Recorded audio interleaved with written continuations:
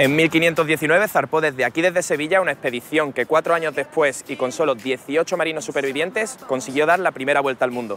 Cuando se van a cumplir 500 años del comienzo de este hito, un grupo de emprendedores liderados por un andaluz va a repetir la hazaña y esta vez por una buena causa, inculcar los objetivos de desarrollo sostenible de Naciones Unidas. Ellos son los 18.org. El papel de las redes sociales y las plataformas de crowdfunding se antoja esencial en la consecución de los objetivos marcados por los impulsores de esta iniciativa. Héctor José García, un geógrafo sevillano creador de la agencia de viajes Geográfica, es el líder de este proyecto. Queremos dar una vuelta al mundo y promover proyectos de impacto e inspirar a toda la humanidad en los objetivos de desarrollo sostenible de la ONU. Dar la vuelta al mundo, pero previamente promover proyectos de impacto e inspirar a todo el mundo en estos objetivos que son tan importantes para el devenir de la humanidad. Sobre el número 18 giran varios puntos de la esencia de este proyecto. 18 son las causas por las que trabajarán, la escala en su trayecto, el número de patrocinadores y también 18 los millones de euros que esperan recaudar para materializar su objetivo. La financiación de los 18 proviene de dos vías. Una del crowdfunding, que hemos abierto una campaña a través de Goteo y diferentes plataformas, y otra a través de la financiación de los grandes patrocinadores. Además de para financiarse, los impulsores de la iniciativa hacen un uso constante del ecosistema 2.0 para darse a conocer, captar aventureros y publicar novedades sobre este proyecto. De momento ya han recibido solicitudes desde Francia, México, Perú o Estados Unidos. No, no se me ocurre pensar en ningún proyecto en el mundo actual que no se tenga que apoyar de las redes sociales, de la tecnología, de la información y todo. Nosotros somos una gente bastante del mundo digital y estamos utilizando por pues, las redes sociales para promocionar el proyecto, para captar público, para que el público hable con nosotros, que haya un diálogo y una conversación que nos retroalimenta.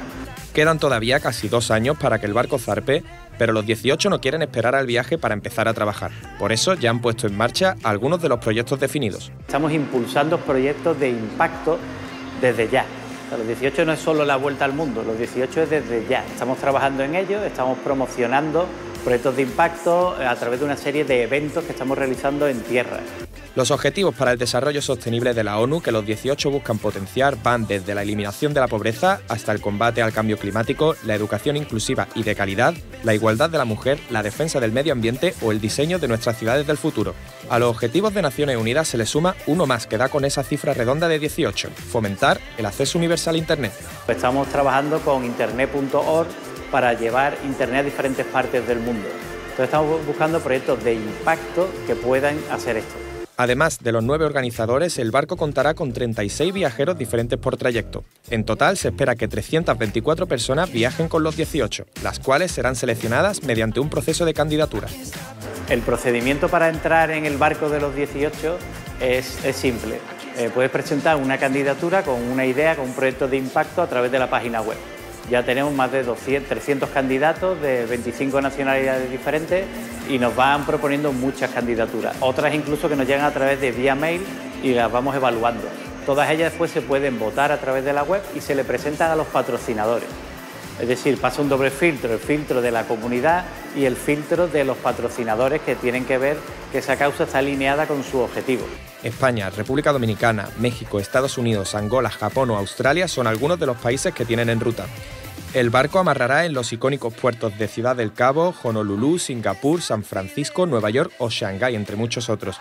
Una travesía que sobre el papel les llevará casi ocho meses y para la que se preparan utilizando recursos humanos e incluso testeando sistemas de inteligencia artificial.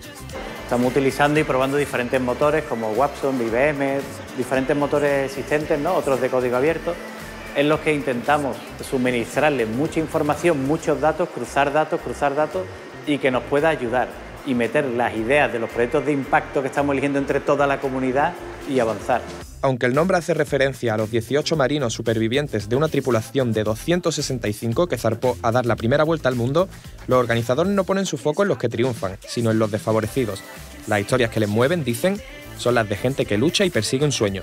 Vamos a, vamos a pasar por ciudades de todo el planeta y lo que pretendemos es que, esto, ¿no? este, este mundo, pues pueda ser más consciente de los problemas y de los objetivos de desarrollo sostenible en base a un hito histórico que partió de nuestra tierra y que mil días después volvió de nuevo a nuestra tierra.